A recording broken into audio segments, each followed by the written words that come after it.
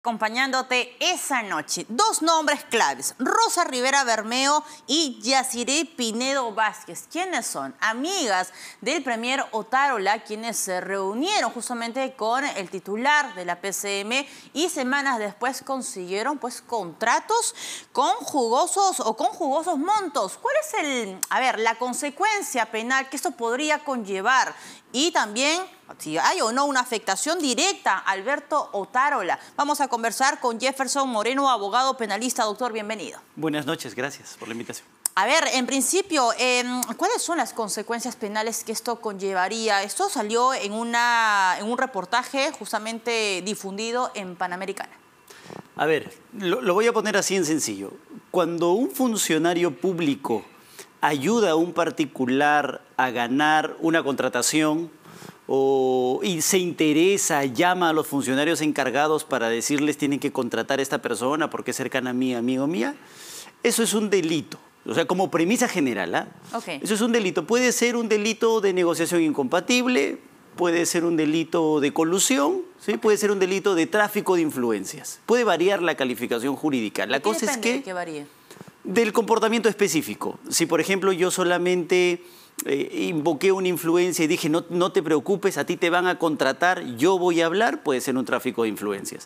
Si es que yo no le he dicho nada a mi amiga, he hablado directamente con, con las personas encargadas de la contratación, pero yo he tenido facultades casi directas, una negociación incompatible. Pero esa es la premisa general, ¿de acuerdo? La noticia lo que te dice es, hay dos, dos, tres señoritas que ingresan a la oficina del ministro en un primer momento y luego del premier, que terminan siendo contratadas por el Estado. Entonces, lo que da a entender el reportaje es que el premier actual las habría ayudado a obtener estas contrataciones. Claro, uno deduce eso. Esa es, esa es la noticia, por así decirlo. No se puede probar, eso no está probado en este momento. Lo que hay es la especulación de que eso ha pasado. Okay. Cuando algo así sucede... Claro, ¿cuál es eh, la estrategia para probar justamente la premisa inicial? La sociedad levanta el dedo y dice, algo así no puede pasar claro, si es que estuviese pasando. Ajá. La sociedad está representada por la fiscalía, entonces la fiscalía, en este caso, porque la persona que habría cometido el delito es un alto funcionario público, es decir, la Fiscalía de la Nación, tiene que abrir una investigación. Porque resulta que para abrir una investigación tú necesitas una mínima sospecha. No sabes si ha pasado, pero es mínima la sospecha de que haya pasado, sí. Entonces, abres una investigación, que es lo que debe pasar en este momento, ¿no? En este caso estamos manejando, digamos, la hipótesis de presuntas amigas, presuntas personas cercanas al premier Otárola. Esto, evidentemente, tiene que tener o tiene que ir por un carril legal, un carril de investigación para tratar de evitar, como usted mencionaba, doctor, las especulaciones. Porque es un tema, digamos, bastante grave y, y es tan repetitivo, lo hemos visto en otros gobiernos, con otros ministros. Eh, en este caso sería, digamos, en la Fiscalía de la Nación quien debería empezar con una investigación. Si fuéramos nosotros quienes cometemos el delito, nos investiga un fiscal provincial. No hay problema. Pero la investidura del Premier. Efectivamente. Mm. Como es un ministro de Estado el que comete el hecho, ya. quien lo tiene que investigar es la Fiscalía de la Nación y lastimosamente ese procedimiento lo conocemos un poquito, altos funcionarios están siendo procesados constantemente. Ajá. La Fiscalía de la Nación... ¿La misma fiscal? La misma fiscal okay. de la Nación uh -huh. hace una investigación que es preliminar. Cuando termine esa investigación preliminar, si considera que ha encontrado los elementos suficientes, presenta su denuncia constitucional en el Congreso. Uh -huh. El Congreso analiza el caso y si lo considera, autoriza el procesamiento del funcionario para evitar que a los funcionarios públicos de alto nivel se les esté denunciando por cualquier cosa, por revanchas políticas. Primero Fiscalía, luego Congreso. El Congreso autoriza, regresa a la Fiscalía de la Nación y la Fiscalía de la Nación ya puede continuar con el procesamiento del funcionario. Ver, es el camino. Ajá. Eh, y, y, y, hay una, digamos, hay un impacto en investigación eh, respecto, con respecto a la investidura que tiene el Premier o no? No. ¿Esto va a impedir, digamos, o va a dilatar el proceso o no? El tener esa calidad, o sea, el tener la, el tener la calidad de ministro de Estado, lo que hace es convertir su proceso, como fuera uno común, en uno de naturaleza especial. Lo retrasa, sí, claro, porque si a nosotros nos investigaran, no necesitan autorización del Congreso para seguir procesándonos. En el caso de un ministro, Sí. se lo investigan De todas maneras- y eso obviamente toma su tiempo, eso demora ¿Cuánto mucho más. más o menos demoraría? A ver, si lo pones en plazos es- exactos de la ley, una investigación preliminar que tiene que hacer la Fiscalía de la Nación puede durar 120 días si el caso es simple. Si se pone complejo, puede durar 8 meses. Una vez que terminan o esos 120 días, si el caso fuera simple, o esos 8 meses, si el caso fuera complejo, tiene que pasar al Congreso. ¿Y cuánto demora en el Congreso? Ahí sí no te puedo decir Bueno, porque depende de la voluntad de la voluntad política, política, claro del está. trámite, etc. Ahora, eh, y es importante analizar la, la otra situación, y, y quiero pensar mal. Eh, ¿El señor Otarola podría impedir de alguna manera obstruir este proceso de indagación, este proceso de investigación? Si algo ha demostrado la fiscal de la Nación, la doctora Benavides, es que es absolutamente independiente, objetiva en la toma de decisiones, no, no solamente ¿Qué por las investigaciones dilatar? que tuvo contra Castillo, sino también contra la actual presidenta. Entonces, es complicado, es, yo, yo lo veo imposible que, la, que el ministro puede interponer alguna acción para bloquear una investigación, eso no es posible. La fiscal de la Nación tiene todas las potestades para aperturar una investigación hoy, mañana, por la noticia Claro. y hacer su investigación preliminar. Y ahí en la investigación preliminar Ajá. comprobar, por ejemplo, llamadas telefónicas. Veamos si los días de las visitas el ministro tuvo llamadas con algunos funcionarios, me parece que es el programa de vida. Ok. Entonces, para ver sí, si tuvo llamadas. Una, una de ellas. eh, Registros. levantar, levantar, digamos, el secreto de las Claro, comunicaciones. levantas el secreto de las comunicaciones y verificas si es que hubieron llamadas entre funcionarios eh, ese día de la visita, al día siguiente de la visita. O si después del ingreso a hablar con el ministro justo salieron a, a una visita Ya. los funcionarios del programa de vida. Ajá. Entonces, ya eso se ve en la investigación. Llamas a declarar, por ejemplo, a las señoritas que hicieron el ingreso, te pones a averiguar si tiene las capacidades necesarias para haber sido contratadas en ese Claro, vas jalando puesto. el hilo de la madeja. Tú vas Ahora, doctor, eh, ¿qué pasa si yo me encargo de eliminar los mensajes de WhatsApp, de Telegram, lo que sea, de alguna plataforma, digamos, de, de- o alguna red social, eh, y, y me encargo, digamos, de limpiar, de no dejar rastro en Mm. que eh, entre entre el señor Otarola y las supuestas amigas. Eh, ¿Hay otra forma, digamos, la- el, el registro de visitas es un, un elemento, digamos, eh, importante? Siempre hay formas de llegar, pero te doy dos razones. ¿Ah? Porque tú borras y mira, te, te estás poniendo la soga al cuello, porque estás generando peligro procesal en el caso. Y claro, porque estás demostrando que eres un peligro para el proceso. Acabas de borrar mensajes, o acabas de botar celulares al mar, o acabas de desaparecer cuadernos de registro, que ya lo hemos visto en otros casos. Claro. Entonces, si tú haces eso, le estás demostrando al proceso que eres un peligro. ¿Y qué hacemos con los peligros? Tenemos que neutralizarlos. Les damos prisión preventiva, por ejemplo, lo que es un gran riesgo. Entonces, sería muy riesgoso que una persona haga eso. Pero si lo hiciera, igual tienes otros caminos. Un levantamiento del secreto de las comunicaciones, no se- el registro de comunicaciones entre dos números no se puede borrar. Tú lo obtienes de los operadores telefónicos. Puedes borrar los mensajes de WhatsApp, que inclusive pueden ser recuperados por la Policía Nacional en muchos casos. Y el registro de llamadas telefónicas también. El registro lo tiene el operador. O sea, Fiscalía le toca la puerta, primero le toca la puerta al juez, le pide autorización. El juez le dice, te autorizo a que pidas el registro de comunicación. Y las llamadas por WhatsApp y Telegram. La gente ya no te llama por, por digamos, de teléfono a teléfono, sino ya usa para evitar, digamos, eh, Mm. Ese, limpiar sí, sí, ese es su problema. Las llamadas de WhatsApp sí no las, no las podemos eh, obtener de Claro, Telefónica, Movistar, Vitel, etcétera. ¿Cómo se No las podemos obtener. Tendría que tener tu celular, visualizarlo directamente para poder Ah. verificar las llamadas. Claro, pero a ver, esto su- ocurre supuestamente eh, no, no hace una o, o dos, no, no hace uno o dos días, ¿no?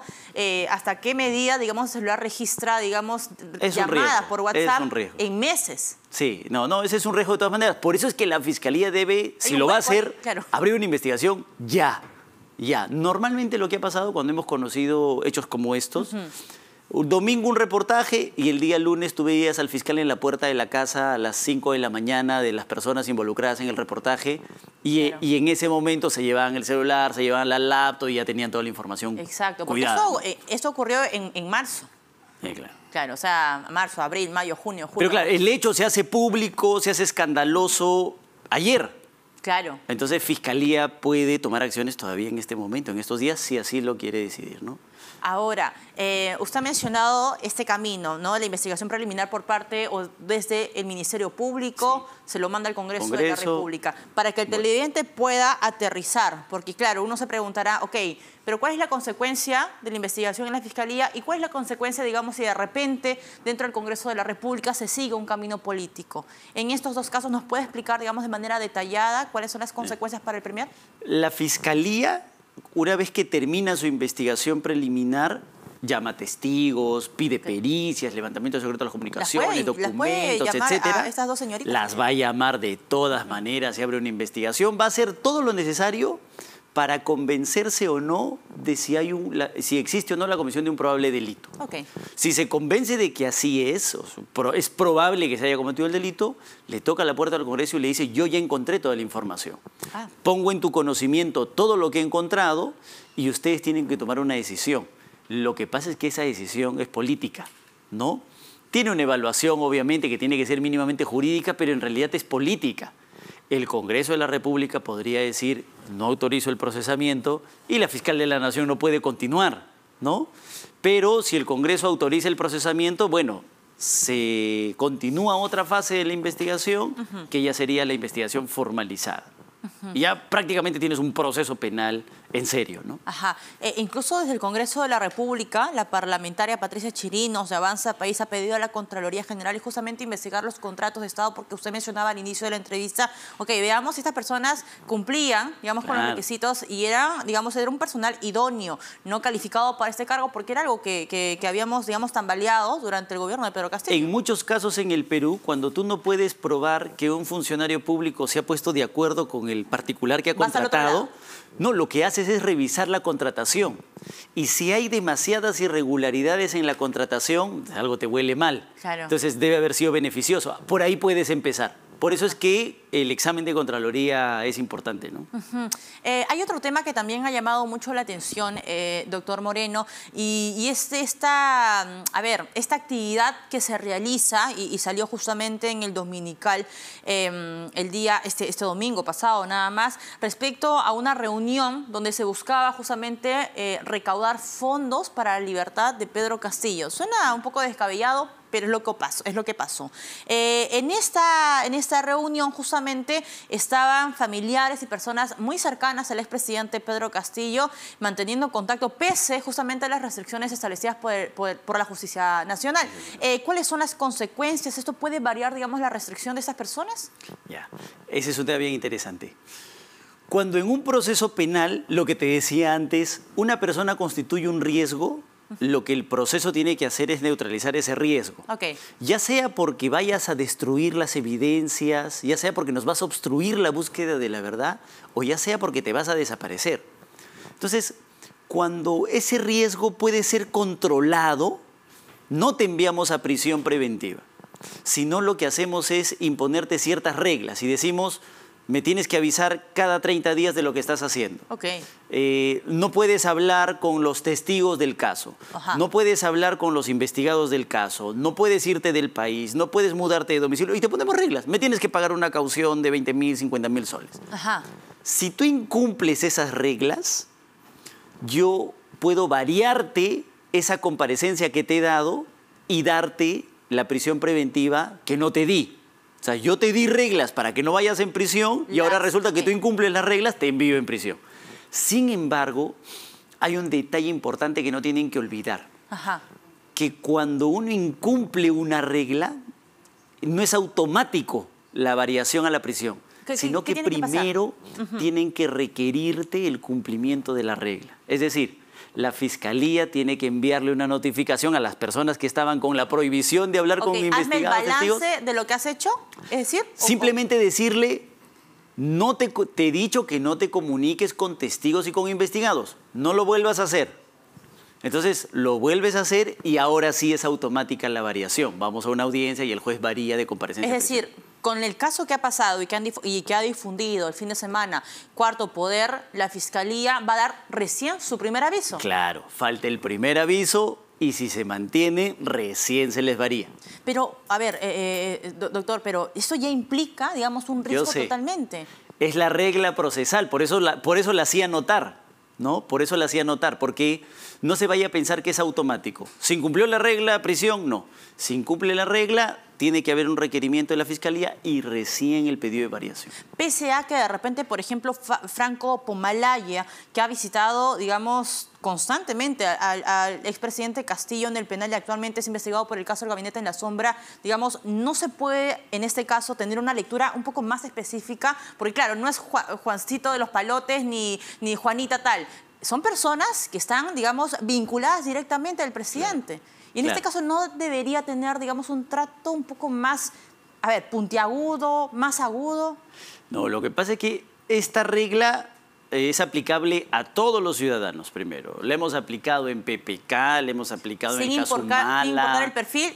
Efectivamente. Eh, y el código dice algo más o menos así. A ver. Se variará la comparecencia por prisión previo requerimiento del fiscal. Entonces, imaginemos que mañana la fiscalía les dice, quiero que les cambien de comparecencia a prisión porque ya salió un reportaje con el que han estado hablando. Yo fuera abogado defensor de esas personas, lo primero que diría es dónde está el requerimiento previo, porque la ley dice requerimiento Voy a apelar, digamos, a, ese es el problema. Voy a apelar, digamos, a que no se ha respetado el debido proceso en este Pero de que hay una infracción, hay una infracción de todas maneras, ¿no? Claro, porque eh, está Franco Pomalaya, quien aparece en el video, y también estaba Gianmarco Castillo Gómez, eh, que recordemos, durante el gobierno su tío se le veía en autos proveedores del, Estado. O sea, nada menos y nada... Investigados por hechos graves de todas maneras, con esas restricciones. Ahora, da el aviso la Fiscalía, te pongo en primer aviso, no estás cumpliendo con esto. Listo. Si reiteran digamos, este comportamiento en otra apoyada bailable, asumo, ejemplo, ¿cuál es la consecuencia Ahora sí, la fiscalía va a tocarle la puerta al juez de la investigación y le dice, señor juez, yo ya les había avisado, no han vuelto a cumplir, varíele esa prisión y el juez ordena su prisión preventiva. Ok, Fiscalía pide al Poder Judicial. ¿Cuánto demora este proceso? ¿Es inmediato, doctor? Es inmediato. En lo que demora en programar la audiencia, calculemos 10, 15 días. ¿Y ellos están obligados a acudir a la audiencia de manera presencial? No están obligados a acudir. O sea, se pueden fugar. Es una posibilidad. O sea, es un riesgo. Es un, riesgo es un alto riesgo, sin duda alguna, que es un riesgo que ha evaluado ya un juez en su momento, porque un fiscal les ha tenido que pedir prisión a ellos. Y el juez dijo, prisión no, restricciones. Entonces, claro, están corriendo ellos un alto riesgo y el Estado un alto riesgo, por supuesto. El Estado el riesgo de que puedan fugarse, pero se supone que eso ya lo evaluaron en su momento, y ellos el riesgo de que mañana con un requerimiento del fiscal ya automáticamente se les pueda variar a prisión. Ahora, doctor, esto que ha pasado de esta reunión donde se ha buscado los fondos, digamos, para la liberación nuevamente del expresidente Castillo y demás, el discurso que ellos manejan, eh, ha sido, digamos, una actividad que se ha podido presenciar, a tal punto que una periodista ha podido ingresar, digamos, a esta actividad. Em, punto aparte. ¿Qué pasa, por ejemplo, o quién fiscaliza, quién vigila que estas personas no se estén comunicando por el WhatsApp, no se estén comunicando por llamadas telefónicas o no se estén llamando por WhatsApp? Que usted ha dicho que eso es difícil, digamos, de rastrear. Eh, eh, en, en principio, la propia fiscalía. La fiscalía a cargo de la investigación es quien debe realizar ese tipo de control, ¿no? Claro. Eh, y el juez de la investigación también, porque a él le rinden cuenta mensual, quincenal, de cuáles son sus actividades. Pero el problema es que yo, tú tienes derecho a la intimidad lo, ah, que, lo, que, lo que esté en tu celular en conversaciones yo no lo puedo ver, el fiscal no lo puede ver, necesito una autorización judicial para poder ver lo que está pasando ahí. Entonces, y esa autorización judicial te la tienen que dar con un motivo específico. Tú tienes que tener algún elemento que te demuestre esta que ocurrió el 26 de agosto. ¿Quién nos asegura que después de esta, de esta digamos, actividad bailable haya de repente se hayan puesto en contacto o incluso, eh, no sé, se hayan realizado llamadas, hayan coordinado de repente alguna estrategia, hayan eh, sintonizado, digamos, los testimonios. Y lo que, lo que tiene que hacer la Fiscalía es de inmediato el requerimiento previo. Ese al que hace alusión la ley y le dice, estás incumpliendo, eso tiene que hacerlo de inmediato. Doctor, ¿y ellos cada cuánto tiempo se acercan a la fiscalía o, cómo es que la fiscalía se asegura, digamos, de que tú, eh, Franco Pomalaya, o tú, Gianmarco Castillo, me estás cumpliendo? Ah, no estás llamando a tal persona, eh, no estás haciendo esto, estás, o sea, ¿cuál es el balance? Eso lo establece un juez. En el momento en el que a ellos les piden prisión Ajá. y el juez dice, no, les voy a dar reglas específicas, en ese momento el juez dice, tienen que venir cada 15 días, cada 30 días. No conozco el caso específico de cada uno, de qué depende, de qué tan peligrosos pueden ser. Si es, puede ser una vez a la semana, puede ser cada 15 días, puede ser cada 30 días. Eso lo ha evaluado el juez en su momento. Muy bien. Eh, muchísimas gracias, doctor Jefferson Moreno, abogado penalista, señores, estuvo con nosotros.